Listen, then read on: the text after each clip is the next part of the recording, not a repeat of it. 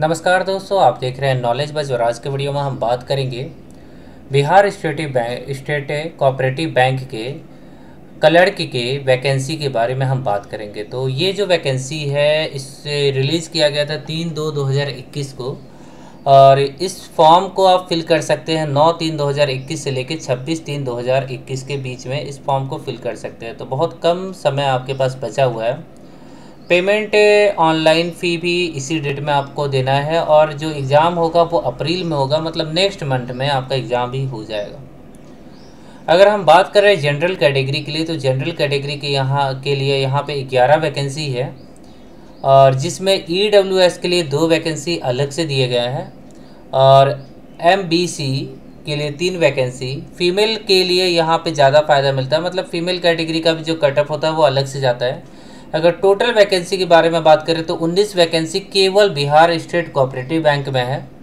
और यहाँ पे एक और बैंक का वैकेंसी निकला है डिस्ट्रिक्ट सेंट्रल कोऑपरेटिव बैंक जहाँ पे बेरासी वैकेंसी जनरल कैटेगरी के लिए है और टोटल एक सौ इक्यासी वैकेंसी है। मतलब इन दोनों वैकेंसी को मिला दिया जाए तो 200 वैकेंसी है टोटल जिसमें से जनरल कैटेगरी के लिए तिरानवे वैकेंसी यहाँ पे देखने को आपको मिलेंगे।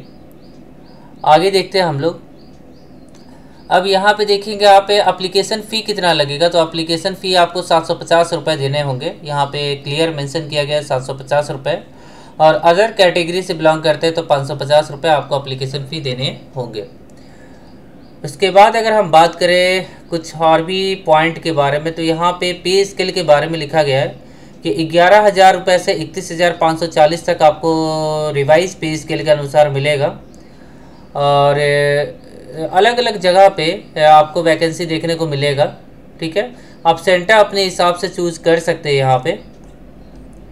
आगे अगर हम बात करें, आगे 11 कोऑपरेटिव बैंक का एक साथ वैकेंसी निकाला गया और बिहार स्टेट कोऑपरेटिव बैंक का सिर्फ़ 11 वैकेंसी निकला है मतलब टोटल 12 बैंक का वैकेंसी निकला है।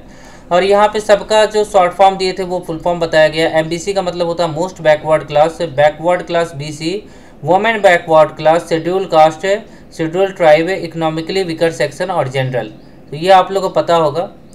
आगे अगर हम बात करें क्वालिफिकेशन को तो क्वालिफिकेशन डिग्री होना चाहिए, कोई भी स्ट्रीम से होना चाहिए, आप पास भी होंगे तो भी अप्लाई कर सकते हो और एज लिमिट माना गया है यहाँ पे। 21 ईयर से लेकर 20 33 ईयर के बीच में आपका एज होना चाहिए। उसके बाद अगर हम बात करें यहाँ पे, आप देखेंगे। यहाँ पे अगर आप देखेंगे तो इंग्लिश रीजनिंग और मैथ्स प्रीलिम्स में पूछा जाएगा और पेपर का जो लेवल होता है, मैंने खुद भी एग्ज़ाम दिया है पेपर का लेवल बहुत ज़्यादा आसान होता है।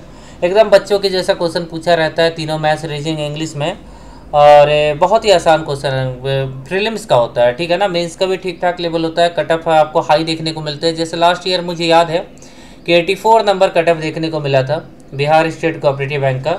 तो यहाँ पे कट ऑफ़ थोड़ा हाई देखने को मिलेंगे। अभी भी आप सोच के चलिए कि चौरासी, पचासी आपको लाना ही होगा। अगर आप क्वालिफाई करना चाहते हैं तो आपको अटेम्प्ट 90 प्लस करना होगा, तभी आप इसके प्रीलिम्स को निकाल सकते हैं।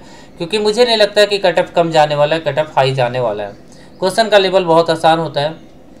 मैं वीडियो बनाऊँगा, हो सके तो। आगे देखिएगा पैटर्न फॉर मेन्स है। मेन्स में आपको चालीस नंबर का यह दिया जाएगा कंप्यूटर ग्रामीण बैंक का जो पैटर्न होता है ना दोस्तों, वही पैटर्न है। सेक्शनल टाइमिंग आपको देखने को मिलेगा। यहाँ पे 150 मिनट का आपको टाइम देखने को मिलेगा। 200 क्वेश्चन आपको बनाना है। तो टाइम आपको ज़्यादा देखने को मिल रहा है यहाँ पे। तो ये अच्छी बात है, ठीक है? और यहाँ हिंदी और इंग्लिश दोनों को ऑप्शनल मिल गया। मतलब या तो हिंदी बनाइए या तो इंग्लिश बनाइए। बहुत अच्छा पैटर्न है दोस्तों इसका। तो इसे आपको फिल करना चाहिए।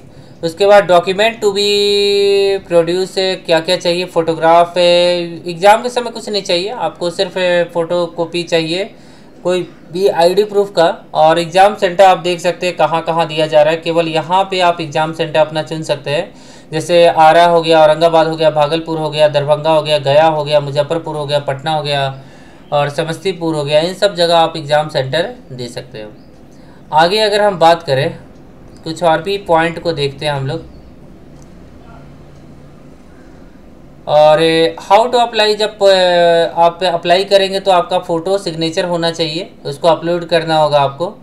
और कुछ यहाँ दिया नहीं गया गया। ठीक है फ़ोटो पचास के भी तक होना चाहिए। डिक्लेरेशन भी आपको देना है थम इम्प्रेशन भी देना होगा यहाँ पे, अंतिम में। ठीक है तो ये एप्लीकेशन प्रोसेस हो गया। फ़ी मैंने बता दिया, सात सौ पचास रुपये सामान्य कैटेगरी के लिए। और डिक्लेरेशन आप लोगों को क्या लिखना है? मैंने यूट्यूब पे वीडियो बनाया। आप सर्च कीजिएगा तो सबसे ऊपर हो सकता है मेरा ही वीडियो देखने को मिले।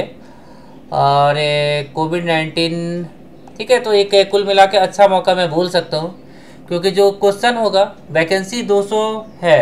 तो बिहार के लिए 200 वैकेंसी बहुत होते हैं और क्वेश्चन का लेवल बहुत आसान होगा। आपको कोशिश करना है कि 90 क्वेश्चन आप बना के आइए। 90 क्वेश्चन अगर आप बना के आते हैं तो आप आसानी से क्वालिफाई कीजिएगा एग्ज़ाम में, ठीक है? उसमें आपको सोचना नहीं है।